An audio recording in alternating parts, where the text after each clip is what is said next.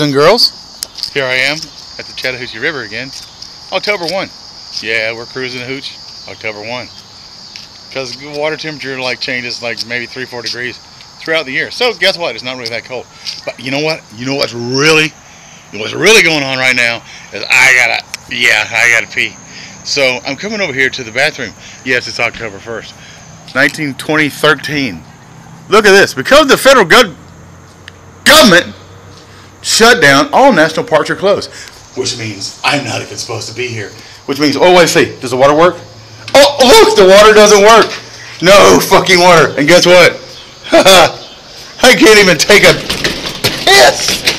So here we are with the government shut down. So let's go see what else we can't do. How about that? Let's go check out what else we can't do around here. Because, you know, it's a free country and shit. So, here's what we're going to do. We're going to check. We're going to. Oh, never mind. I thought some rangers were coming up. But guess what? The rangers aren't here because they're furloughed. Can't even be paid. Guess what? I can't even pay my government to park here. Can you believe that? Parking is free. Parking is free today. Guess what? Oh, daily fee. Uh, la la la la la la. Guess what? I can't even pay my government. I can't even give my government money today. It's ridiculous. You could send them a check you could. I can send them a check. Oh wait, they let me? Will they let me throw some garbage away? I think they will. They're not that stupid. Oh, see, partakers. Anyway, this is a beautiful place to be on an October with the government shut down. There's nobody here to mess with you.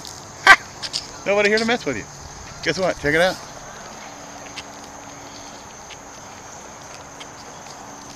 And here we are. Goodbye.